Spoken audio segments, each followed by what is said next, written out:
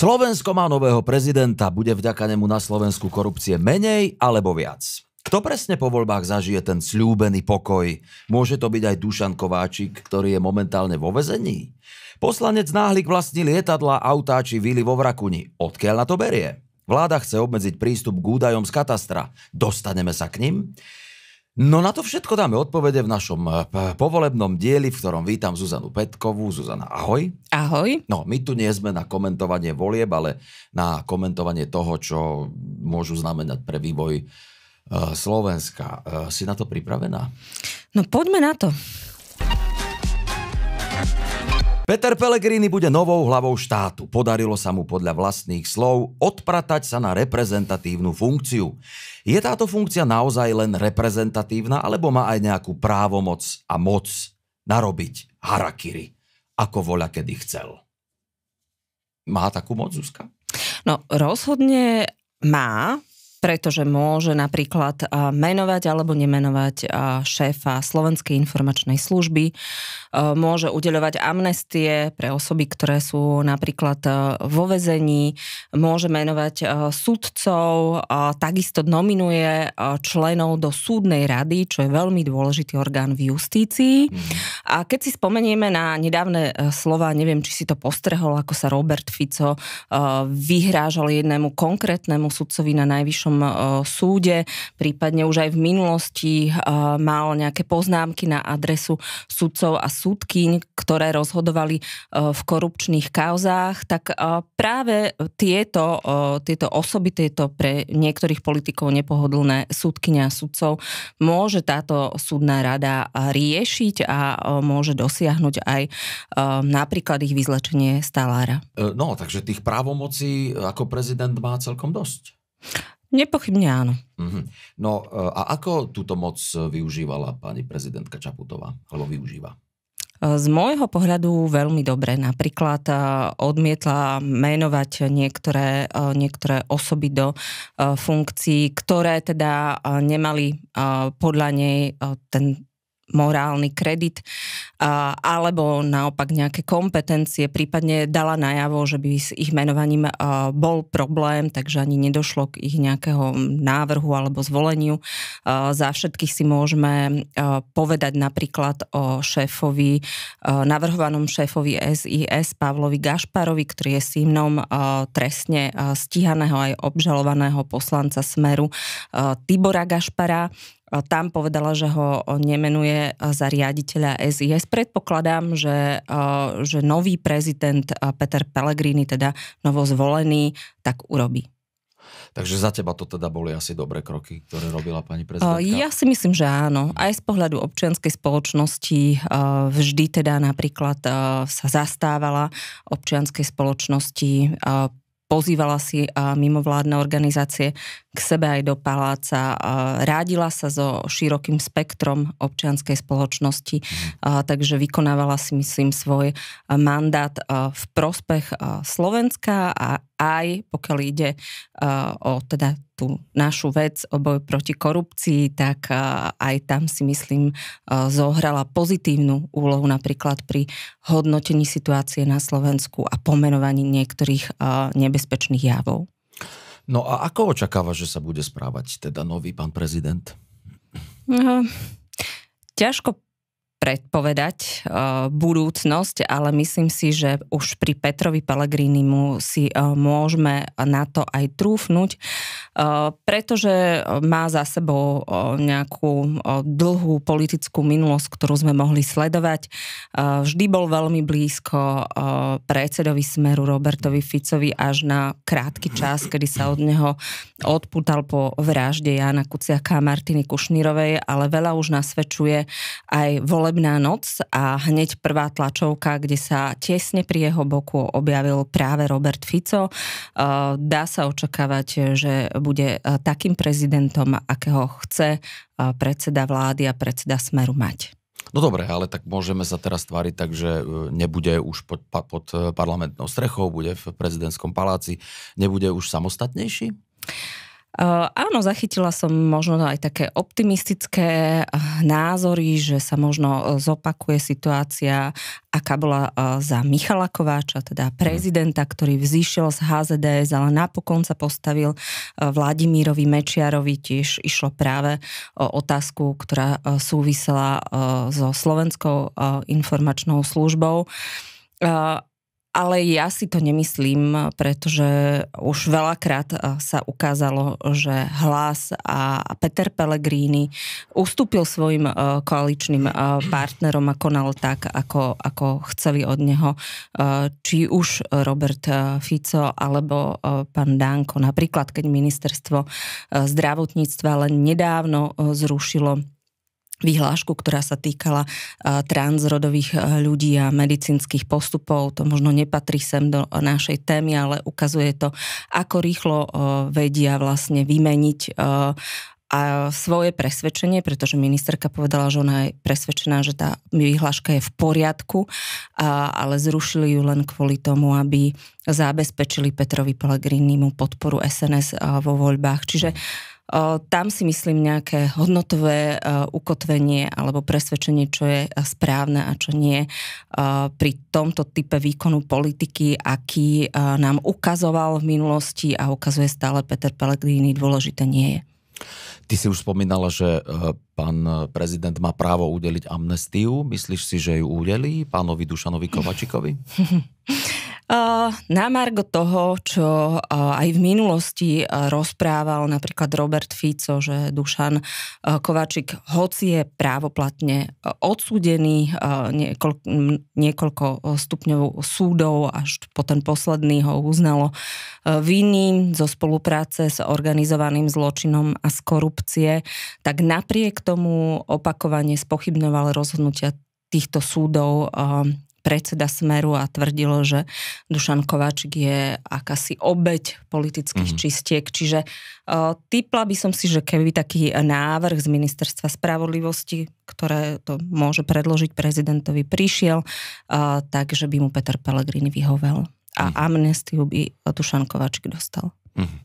No dobre, je to ešte teda ďaleko, ale e, podľa teba komu tak svitla ešte nádej, že sa dostane na slobodu? Tak v minulosti sme napríklad počuli aj uh, niektoré spochybňujúce uh, reči rovnako zo stran politikov aj vo vzťahu ku Marian Kočnerovi, k výške jeho trestu, pretože si právoplatne uh, tiež odpikáva trest uh, odňatia slobody 19 rokov za zmenkový podvod. Tu sa opakovane tiež politické spektrum blízke Petrovi Pellegrinimu vyjadrovalo, že je to príliš uh, vysoký trest, uh, čiže mohli by sme si uh, zašpekulovať aj o ňom, ale uvidíme, necháme to na najbližšie mesiace, ako Peter Pellegrini sa chopí svojho úradu. Počas prezidentskej kampane sme spoznali meno Peter Náhlik. Ide o poslanca Hlasu, ktorý Pelegrini mu požičal miliónové lietadlo na presun do Košíc a vilu za 700 tisíc eur na presuny z Cukermandla, kde pán Pelegrini býva. Že je lietadlo Náhlikovo vraj Pelegrini nevedel, že je vila Náhlikova vie. Chodí do nej, lebo jeho byt je vraj malý a tlačí sa v ňom. No, takže mňa zase tlačí niekoľko otázok v súvislosti s týmto. Takáto vec sa môže stať asi teda každému, že ti niekto e, požičia lietadlo, alebo požičia vílu, alebo dom. E, prečo sa tým médiá vôbec zaoberali? Bola to legitimná otázka, pretože vieme, že Peter Pellegrini sám pilotuje lietadla, že má lietadla rád. Na druhej strane, keď si pozrieme na, na hlikovú firmu, na ktorú je to lietadlo napísané, nevyzerá, že by tá firma bola veľmi nejaká aktívna a že by mala mať vo vlastníctve takéto veľké lietadlo.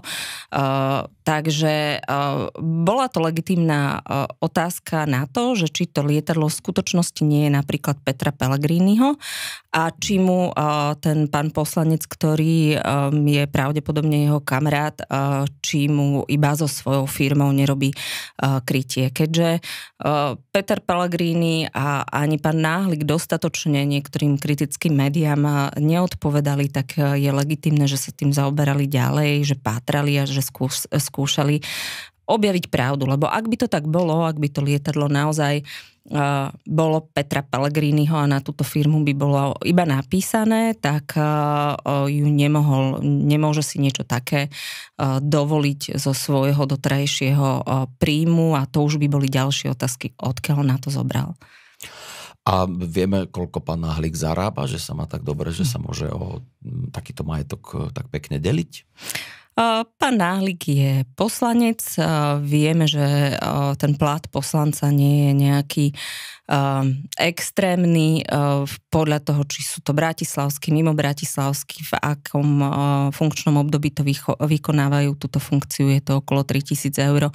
Takže ani nie, ale pán Náhlik pochádza, hoci je pomerne mladý muž, pochádza zo solventnej rodiny, čiže e, je synom e, trnavského podnikateľa, e, ktorý podnikal spoločne s Vladimírom Pohrom. Ak si ho pamätáš, to je taký jeden z tých ešte mečiarovských privatizérov. Mm. Čiže je možné, áno, že, že ten majetok zdedil po svojom otcovi a že ho má takto.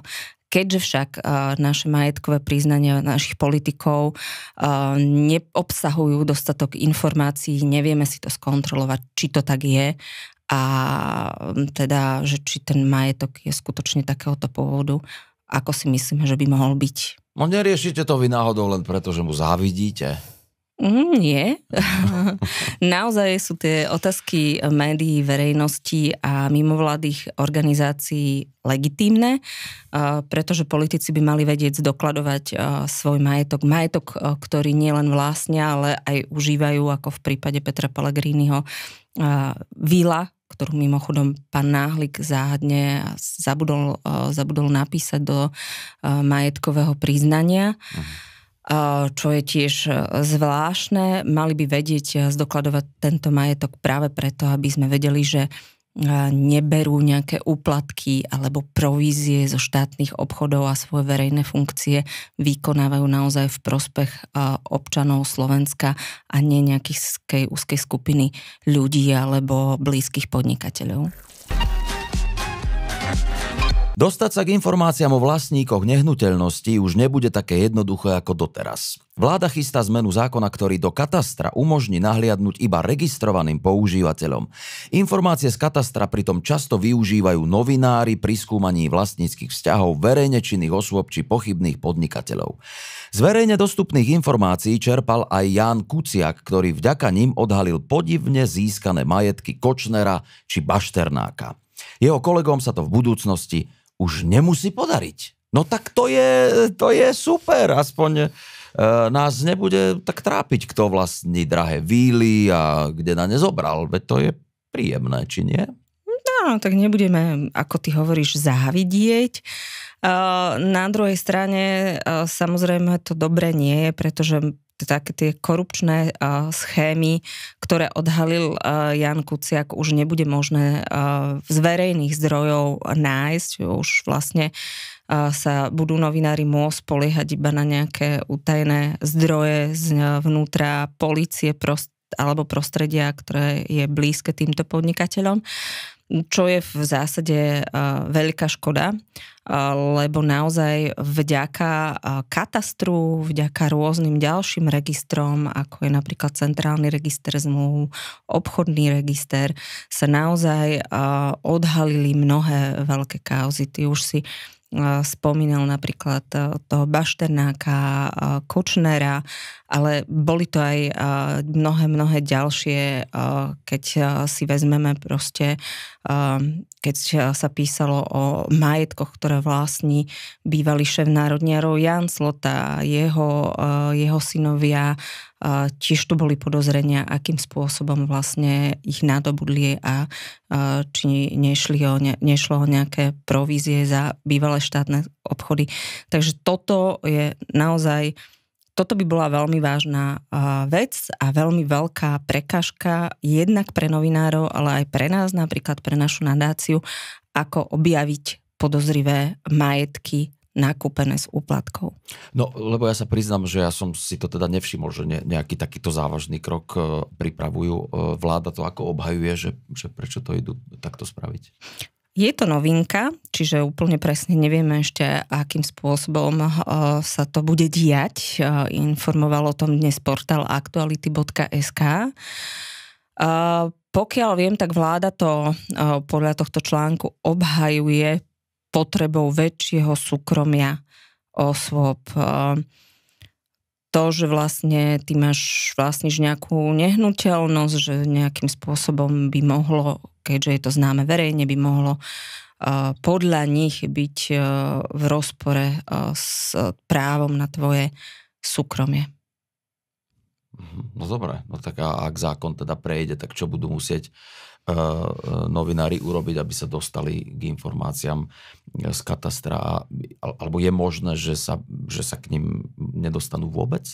No nič, budú nahratí, ak, uh, ak naozaj nepríde nejaký zdroj a neposunie im informáciu, ktorú aj tak bude ťažké si overiť keďže nebude, e, nebudú e, existovať verejné prístupné informácie o tom.